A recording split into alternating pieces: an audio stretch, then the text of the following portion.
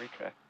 The Polaris Dawn crew will consist of Jared Isaacman, Scott Kidd Poteet, who was a veteran member of Jared's team, and two SpaceX employees, Sarah Gillis and Anna Menon.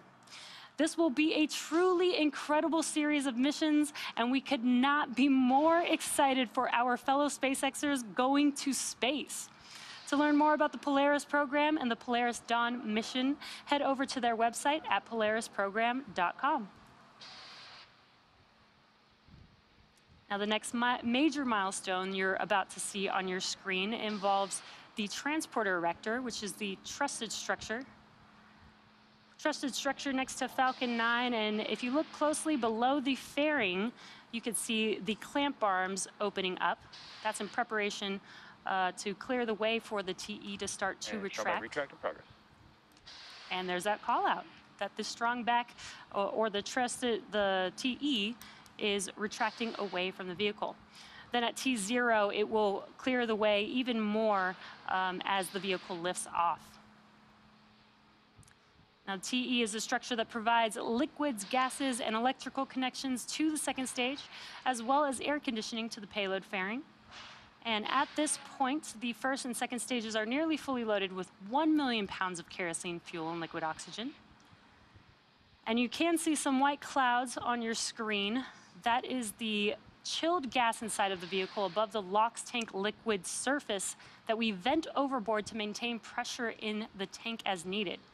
Now, when that gas exits the vehicle into the warmer Florida air, the humid air condenses into clouds. Similar, Stage one LOX load complete. pretty similar to when you have a cold glass of water and condensation forms around it. And we also just heard the call out for the first stage LOX loading complete. Next up will be second stage at about T minus two minutes.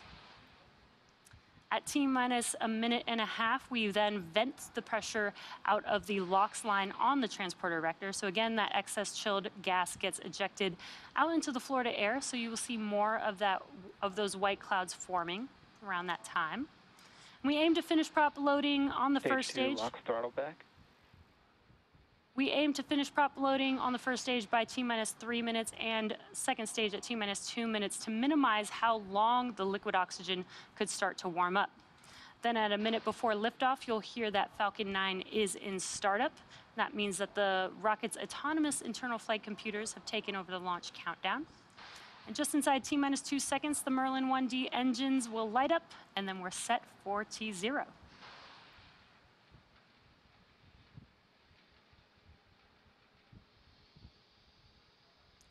Just waiting for that call out for LOX load on second stage. Stage two LOX load complete. There it is. Now both first and second stage are fully loaded with propellant. The Starlink payload continues to be healthy, and the Falcon 9 team is tracking no issues on the vehicle. Weather is still looking amazing, and you can see the blue skies there on your screen. And the range is green for launch.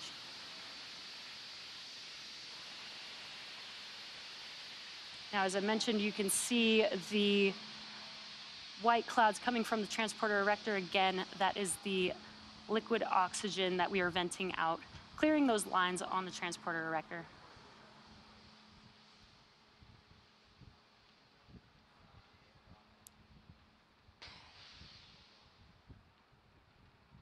Falcon 9 is in startup. And there's that call out that the Falcon 9's computers have taken over the launch countdown, just waiting for the final go from the launch director. LD go for launch. And all systems are now go for launch. So let's listen into the terminal count and watch as Falcon 9 takes our 46 Starlink satellites to space. T minus 30 seconds.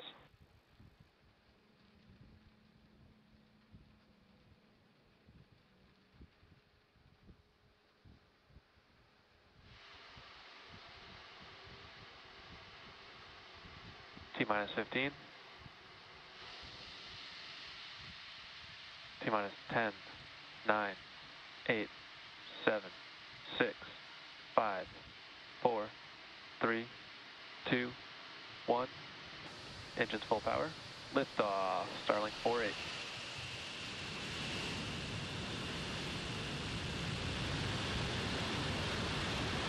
Vehicle switching down range.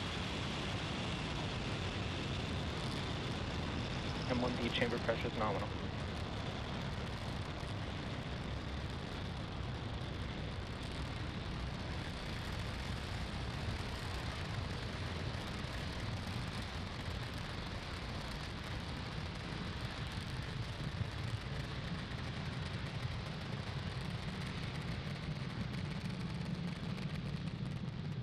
Falcon 9 has successfully lifted off from Space Launch Complex 40 at Cape Canaveral Space Force Station, Power and telemetry nominal.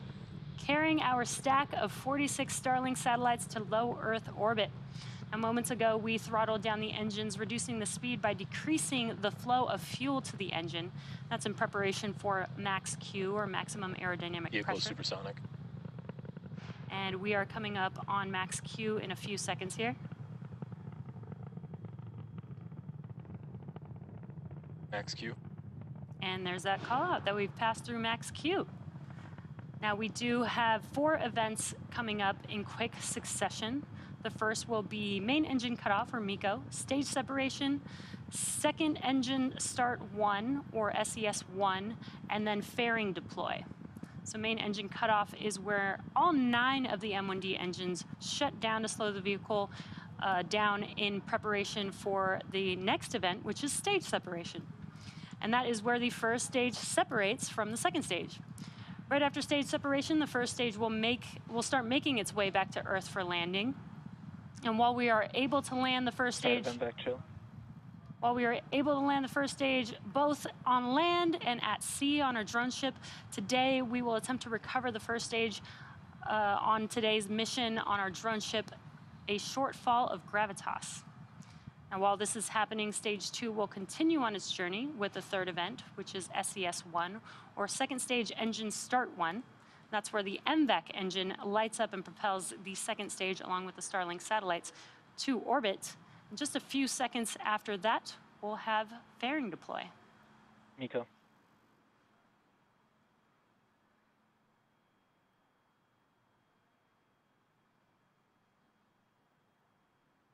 Stage separation confirmed.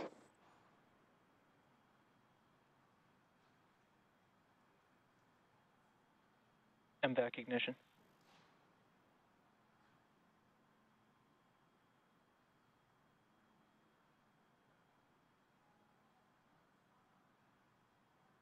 Fairing separation confirmed. And great views on your screen. We just saw MECO, stage separation, SES 1, and fairing deploy. On your left hand screen is the first stage, right hand screen is a view of the MVAC engine. And those visual confirmations mean that we have successfully uh, deployed our fairing halves. SpaceX has reflown Falcon fairing halves since 2019, and the fairing halves flying on today's mission are flying for the third time. Improvements on the fairing and our overall refurbishment process has decreased the impact of water landings and led to an overall fairing recovery rate of 93% over the last 14 missions. Of 109 fairing missions, 73 have been recovered and 32 missions have flown recovered fairing halves. And again, we will be attempting to recover the halves again today using our recovery vessel, Doug.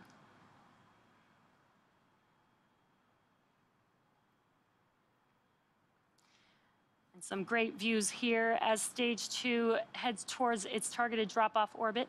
Stage one will complete two burns in order to make its way back to Earth. The first is the entry burn, where three of those nine M1D engines will reignite. That helps to slow the stage down as it re enters back into the upper parts of the Earth's atmosphere. Acquisition signal, Bermuda. Then the second burn for the first stage is the landing burn. This is a single engine burn, the center E9 engine, and that brings the vehicle speed down rapidly in order to land on the drone ship. Stage two is still looking good on a nominal trajectory.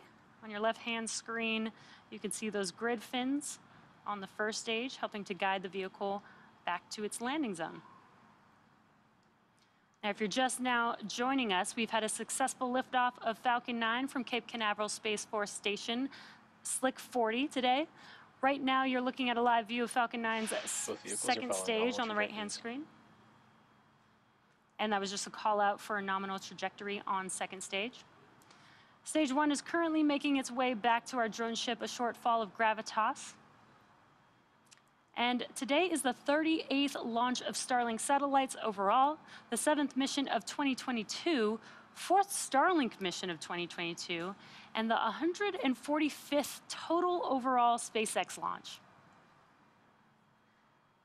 We're just about a minute away from the entry burn start on the first stage. The Merlin engines on the first stage are optimized for sea level. These achieve 190,000 pounds of thrust during ascent. That's when we lift off or fly um, towards space, and descent, and that's when we come back down to Earth. Now, the MVAC engine is optimized for 220,500 pounds of thrust in vacuum, and that's what you're seeing on your right-hand screen.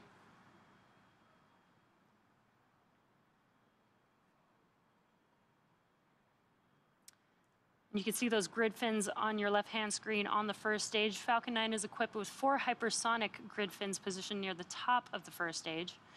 The stage one is using nothing but the grid fins for steering as it makes its way, uh, as it makes its return back to Earth. Um, that is until we light the center E9 engine. Then we can gimbal the engine to help guide the stage as it lands. Again, we're coming up on that entry burn here in a few seconds. Stage 1 FTS has saved. Stage 1 entry burn startup. We heard the call out, and you can visually see that Stage the 2 FTS has saved. you can visually see that the entry burn has begun on the first stage. Stage 2 continues to follow nominal trajectory. Great call outs on stage two. Entry burn. Stage 1 entry burn shutdown. There it is. It's just a 20 second burn. And as you can see and heard, uh, the entry burn has concluded. Next up will be the landing burn, and that'll be the final burn for the first stage as it returns back to Earth. Now, for those of you who follow along, you'll know that the soot on the rocket indicates it's been flown before. The rocket, ga- rocket grade kerosene, RP1, uh, used to fuel a Falcon 9 is carbon based, so when it burns, it generates that soot.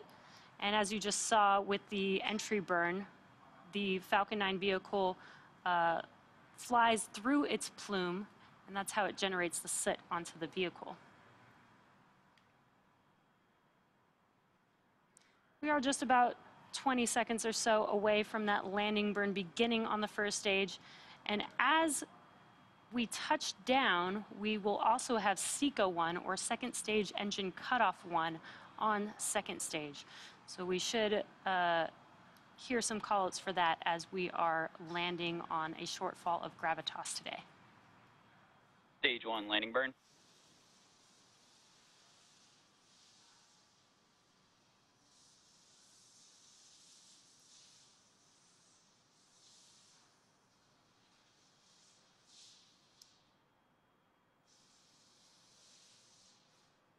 Stage 1 leg deploy.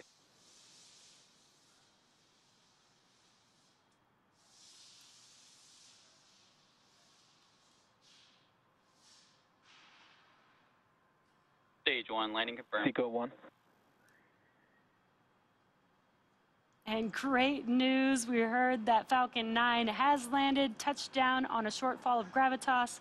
We also heard, there it is on your screen, incredible view of the vehicle standing Nominal tall. orbit insertion. And we also had SECO 1 as well as that call out right there. Let us know that we had a good orbit.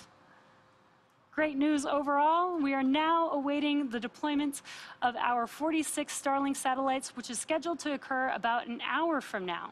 Now, as I mentioned before, we won't have live audio or visual confirmation of payload deployment due to lack of ground station coverage. We will regain signal with our ground station at T plus one hour and 19 minutes. So for those of you who are interested, we will keep the audio only countdown nets up on our YouTube channel and we'll confirm successful payload deployment on our social channels. So that will bring our webcast to a close today. Also signal Cape and Bermuda. Our team at SpaceX would like to send a big thank you to the Range and Federal Aviation Administration for supporting our mission. Of course, thank you to all of you, our viewers, and all of our Starlink customers using our service at this time. And if you're interested in signing up for Starlink service, head over to starlink.com.